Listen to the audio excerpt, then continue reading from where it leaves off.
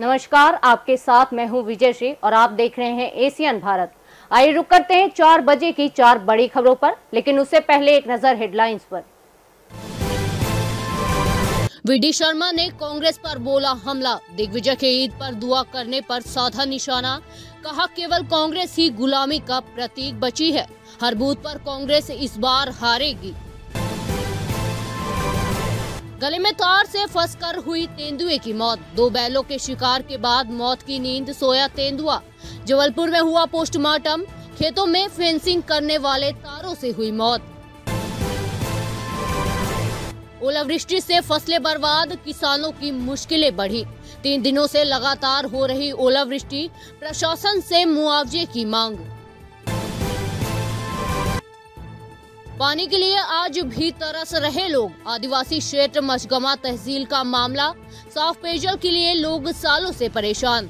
सरकार की तमाम योजनाओं की जमीनी हकीकत पाँच पाँच किलोमीटर दूर से पानी लाने को मजबूर लोग। बस्ती में पीने के पानी की मारामारी। चार बजे की चार बड़ी खबरों पर विस्तार से बात करेंगे, लेकिन उससे पहले जान लेते हैं कौन सी है वे बड़ी खबरें।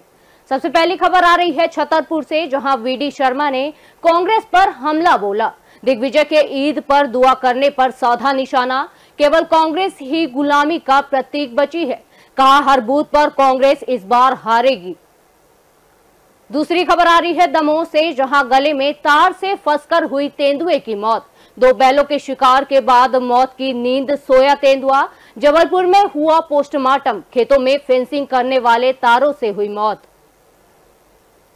तीसरी खबर आ रही है बैतूल से, जहाँ ओला वृष्टि से फ़सलें बर्बाद। किसानों की मुश्किलें बढ़ी। तीन दिनों से लगातार हो रही ओला वृष्टि प्रशासन से मुआवजे की मांग। चौथी खबर आ रही है चित्रकूट से, जहाँ पानी के लिए आज भी तरस रहे लोग। आदिवासी क्षेत्र मचगवा तहसील का मामला। साफ़ पेयजल के लिए लोग सालों से परेशान। सरकार की तमाम योजनाओं की जमीनी हकीकत। पाँच पाँच किलोमीटर दूर से पानी लाने को मजबूर लोग। बस्ती में पीने के पानी की मारामारी।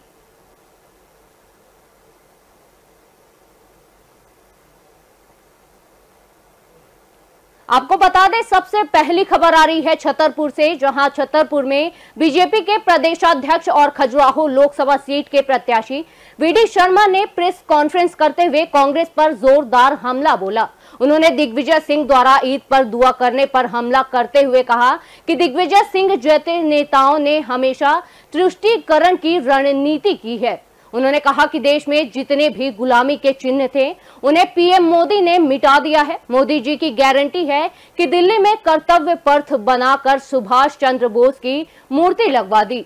अब एक ही गुलामी का प्रतीक बचा है, वह है कांग्रेस। वह भी इस बार मोदी जी देश से खत्म कर देंगे। उन्होंने कहा कि हर बूथ पर कांग्रेस इस बार हारेगी। इस दौरान बीजेपी प्रदेशाध्यक्ष के सामने छतरपुर जनपद के कांग्रेस अध्यक्ष के पति सहित कांग्रेस समर्थक जनपद सदस्य भी कांग्रेस छोड़ बीजेपी में शामिल हो गए।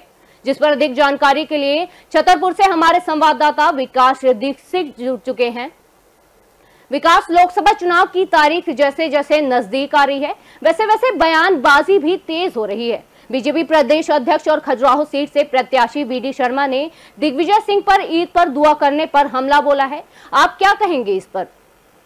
जी विजय श्री मैं आपको बता दूँ कि जैसे जैसे चुनाव की तारीख नज़दीक आ रही है वैसे वैसे आरोप प्रत्यारोप का दौर चल रहा है। जैसे अभी वी शर्मा जी जो प्रदेश अध्यक्ष है भाजपा के उनके द्वारा प्रेस कॉन्फ्रेंस कर मीडिया से रूबरू हुआ गया।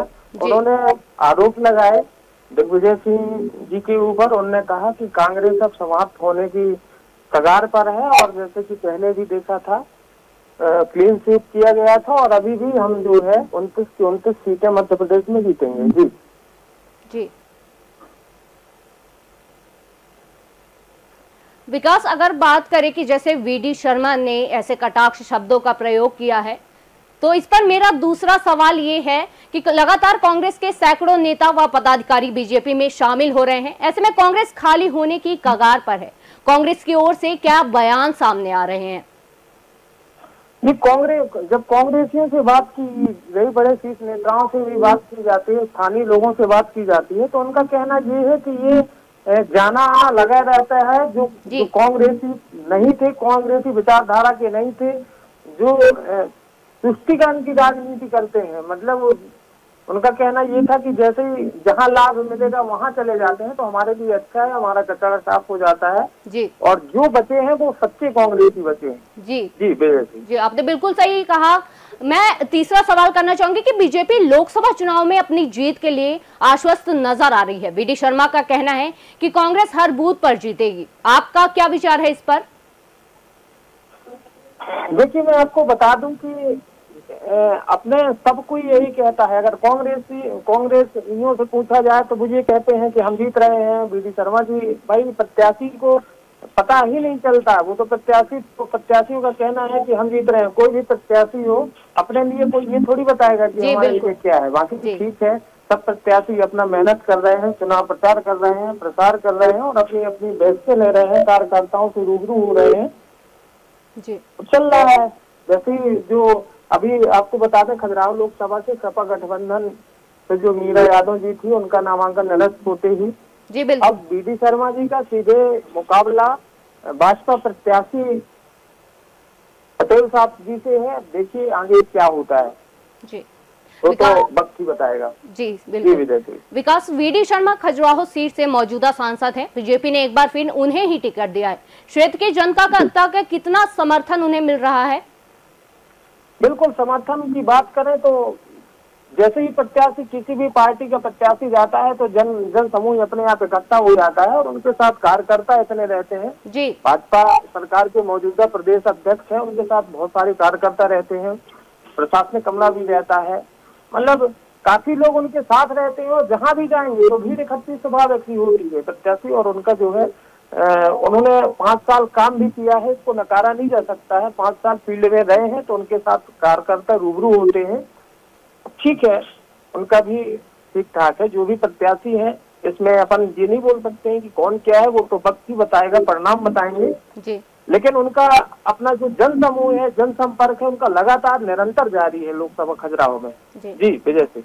विकास जैसे छतरपुर में बीजेपी के प्रदेशाध्यक्ष और खजुराहो लोकसभा सीट के प्रत्याशी बीडी शर्मा ने प्रेस कॉन्फ्रेंस करते हुए कांग्रेस पर जैसे जोरदार हमला बोला है तो इस पर क्या कांग्रेस की कोई टिप्पणी सामने आई है?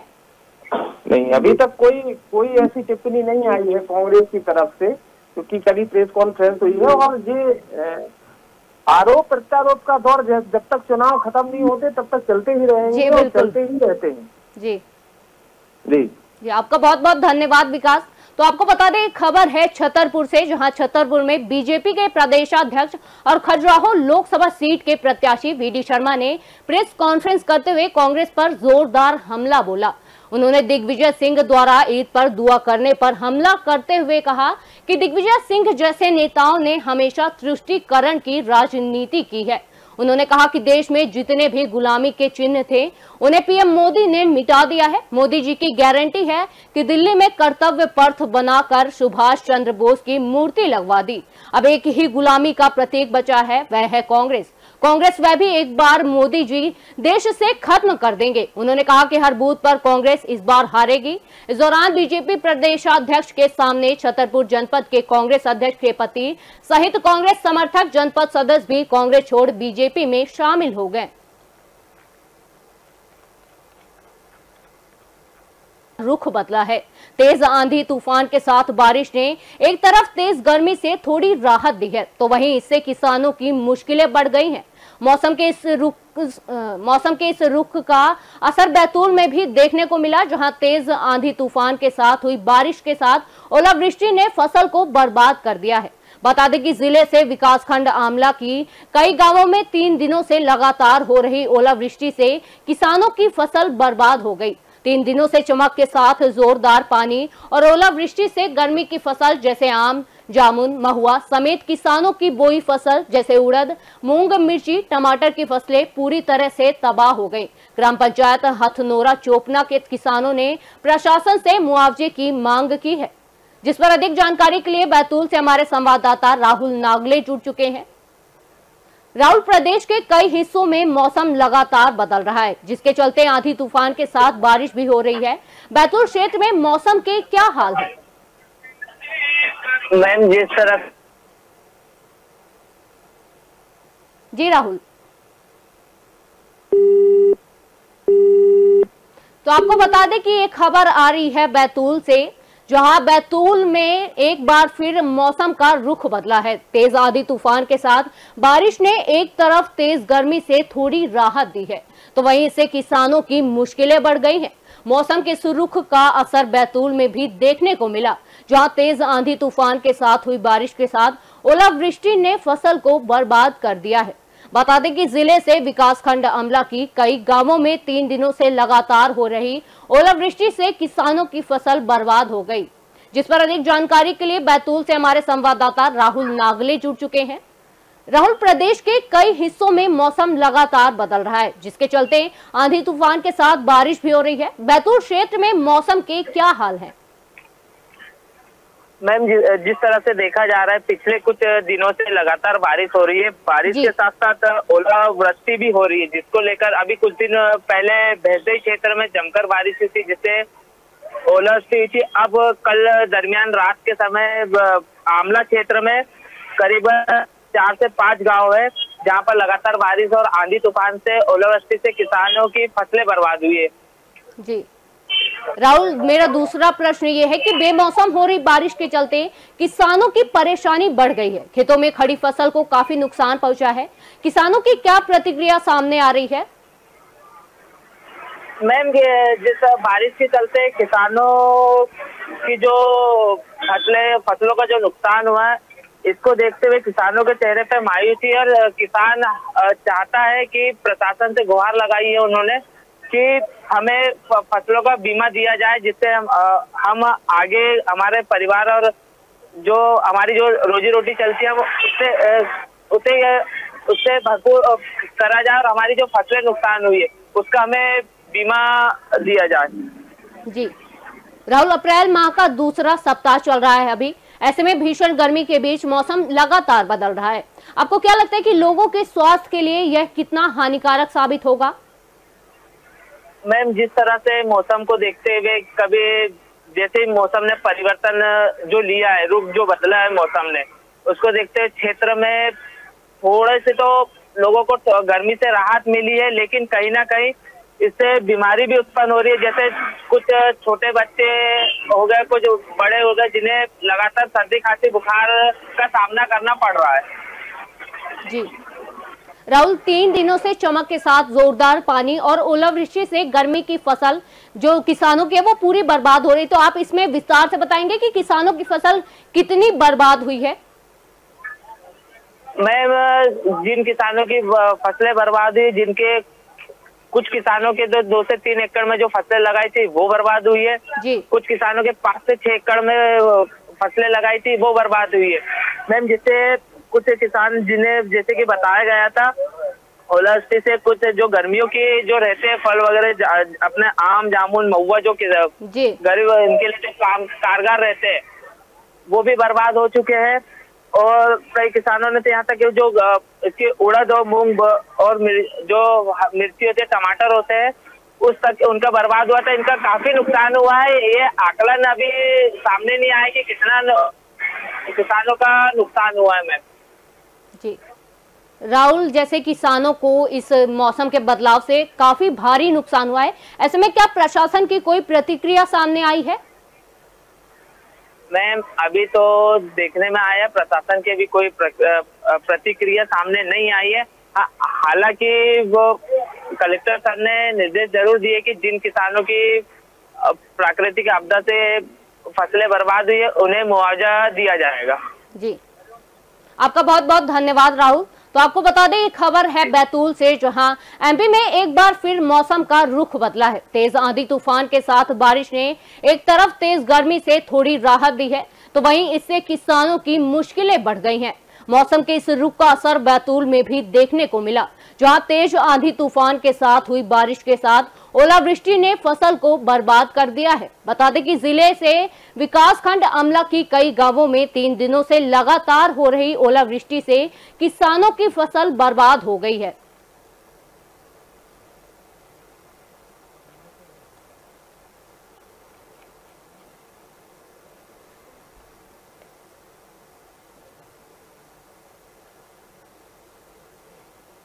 सबसे आखिरी खबर आ रही है चित्रकूट से, जहाँ एक सामान्य सा प्रश्न है। अगर किसी से यह पूछा जाए कि जीवन जीने के लिए सर्वाधिक आवश्यक क्या है, तब सहज रूप से इंसान का जवाब होगा हवा और पानी।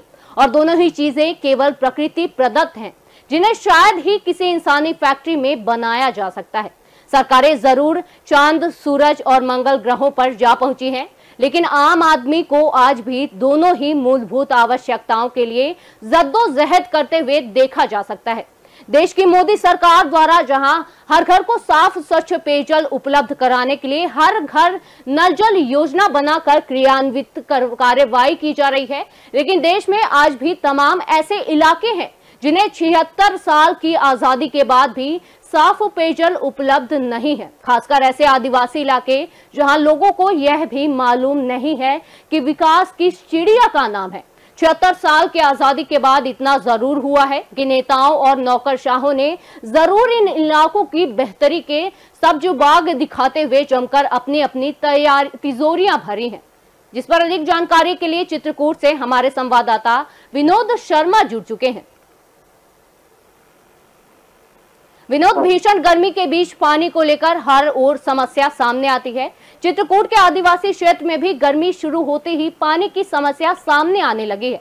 किस तरह लोगों को परेशानी का सामना करना पड़ रहा है? जी जैसे मैं बताना चाहूँगा जी। ये सतना ज़िले की जो मलगवा तहसील है ये कई कारणों के चलते कुख्यात कहे विख्यात कहे कुख्यात कहे। है।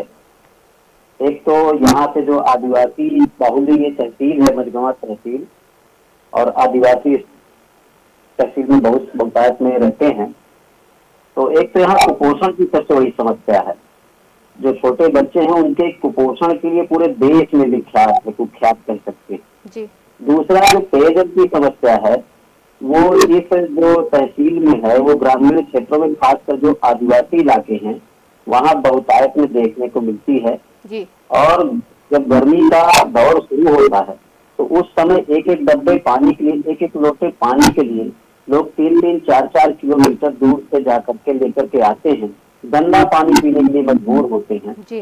और किस तरह से जीवन यापन करते हैं जिन्हें आप सहज रूप से वीडियो में देख सकते हैं कि किस तरह से लोग सवेरे से गाँव के लोग सारे काम धंधे अपने छोड़ करके और केवल पानी लेने के लिए तीन से चार किलोमीटर दूर एक जंगली चौड़े में जाकर के केवल इस आशा से पहुँच जाते हैं कि वो सुबह पहुँच जाएँगे तो उनको साफ़ पानी मिल जाएगा। क्योंकि जैसे जैसे लोगों की भीड़ वहाँ बढ़ती जाती है तो फिर वो पानी धीरे धीरे गंदा होता जाता है। क्योंकि वो पहाड़ों का पानी वो रित रित करके धीरे धीरे कुंड नुमा बना दिया गया है तो उसमें वो भरता रहता है। तो सुबह जब लोग पहुँचते हैं तो वो पानी साफ़ मिल जाता है तो इसकी आशा से गाँव के बच्चे, बूढ़े, बुज़ुर्ग, वो सब अपना तीन चार किलोमीटर केवल पानी के लिए वहाँ जाकर के लाइन में लग जाते हैं। बावजूद इसके भी दिन दिन भर लोग पानी के लिए लाइन में लगे रहते हैं, परेशान होते रहते हैं, और उसके बाद भी किसी भी तरह से वो गंदा पानी पी करके अपना जीवन गुजर बसर करते हैं। सरकारों की अगर बात की जाए तो जो है कि सरकारें बात करती हैं कि चंद्रमा पे मंगल पे पहुँच गई हैं, स्वाभाविक भी है, पहुँच गई है, इसमें कोई बुराई नहीं है। लेकिन जब तक मूलभूत आवश्यकताओं के लिए इस तरह से और खासकर आदिवासी वर्ग जद्दोजहद करता रह जाएगी खूब पानी के लिए तो फिर उन चाँद और मंगल ग्रह की यात्राओं का कोई अर्थ नहीं निकलता है।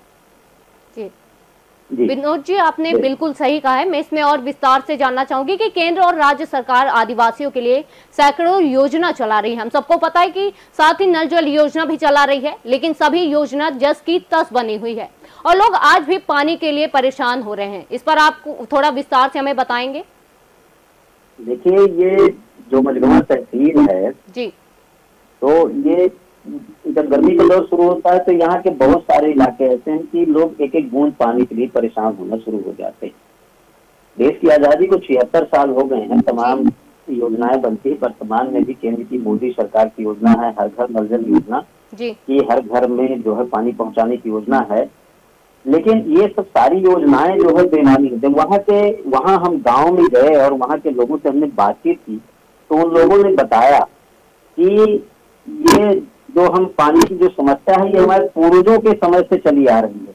मतलब आप समझ सकती हैं कि सत्तर सत्तर अस्सी अस्सी साल के जो गाँव के लोग हैं बुज़ुर्ग हैं वो ये बता रहे हैं कि हमारे पूर्वज भी इसी चौड़े का पानी इसी कुंड का पानी जो पहाड़ों से धीरे धीरे रित करके इकट्ठा होकर वहाँ भरता है तो इसी तरह से पीते रहे हैं बीमार होते रहे हैं और अगर ये कहा जाए कि इलाज के अभाव में दम तो होते रहे तो भी कोई अतिशयोक्ति नहीं होगी। कुल मिला करके ये उनकी नीयत बन गई है। सरकारें इस ओर कोई ध्यान देना नहीं चाहती है। नेता केवल ऐसे गाँव में जब चुनाव का वक्त आता है केवल तभी जाते हैं। बाकी समय नेताओं की जो लिस्ट है उनकी लिस्ट से ये गाँव बाहर होते हैं। जी तो कुल मिलाकर के ये इनकी नियत बन चुकी है अधिकारी कर्मचारी भी इनकी कुछ सुनते नहीं गाँव के लोगों ने बताया कि बीते कुछ समय पहले यहाँ पे एक बोर करवाया गया था लेकिन वो बोर तीन चार दिन चला और उसके बाद भी वो खराब हो गया। तो तीन चार दिन लोगों को पानी मिला और फिर वो खराब हो गया। और पलट कर किसी ने देखने की यह जहमत नहीं की कि बोर चल रहा है, लोगों को पानी मिल रहा है कि नहीं मिल रहा है। कुल मिलाकर के इनके लिए विकास क्या है, उसके कोई मायने नहीं। जी। तो विनोद जी, ये कहना बिल्कुल सही होगा कि समस्या को पीढ़ी दर पीढ़ी ने इसका सामना किया है। आपका क्या कहना है कि क्या इस क्षेत्र के आदिवासियों ने पानी की समस्या को लेकर जनप्रतिनिधियों और संबंधित अधिकारियों से शिकायत नहीं की है या उनकी शिकायतों का निराकरण नहीं हो पा रहा है? नहीं नहीं देखिए शिकायतें बात शिकायतों की नहीं है तो वहाँ के सारे जनप्रतिनिधियों को पता है। जी बिल्कुल। ग्राम के सरपंच से लेकर के और वहाँ के विधायक सांसद क्योंकि सतना ज़िले में जो वर्तमान सांसद हैं ये कहें कि वो लगातार पांचवी बार चुनाव लड़ रहे हैं सांसदी का गणेश सिंह। पिछली छह छह पंचवर्षी से ये सीट भाजपा की है। पिछले अठारह वर्षों से लगभग मध्य प्रदेश में भाजपा की सरकार है उन्नीस वर्ष हो गए। तो ऐसा कुछ नहीं है कि ये जनप्रतिनिधियों को या यहाँ के सरकारी नुमाइंदों को इन गाँवों की समस्याओं की जानकारी नहीं है। सारी जानकारियाँ हैं लेकिन कोई कुछ करना नहीं चाहता है।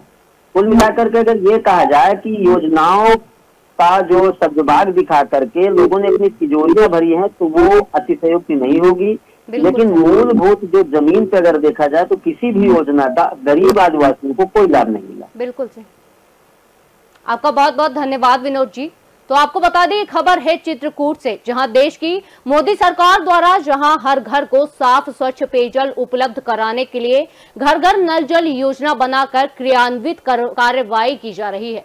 लेकिन देश में आज भी तमाम ऐसे इलाके हैं, जिन्हें छिहत्तर साल की आज़ादी के बाद भी साफ़ पेयजल उपलब्ध नहीं है। खासकर ऐसे आदिवासी इलाके जहाँ लोगों को यह भी मालूम नहीं है कि विकास किस चिड़िया का नाम है। छिहत्तर साल की आज़ादी के बाद इतना ज़रूर हुआ है कि नेताओं और नौकरशाहों ने ज़रूर इन इलाकों की बेहतरी के सब्ज बाग दिखाते हुए जमकर अपनी अपनी तिजोरियाँ भरी हैं।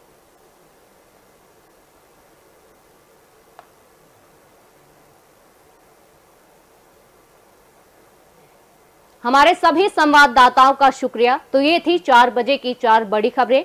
खबरों के लिए बने रहिए एशियन भारत पर।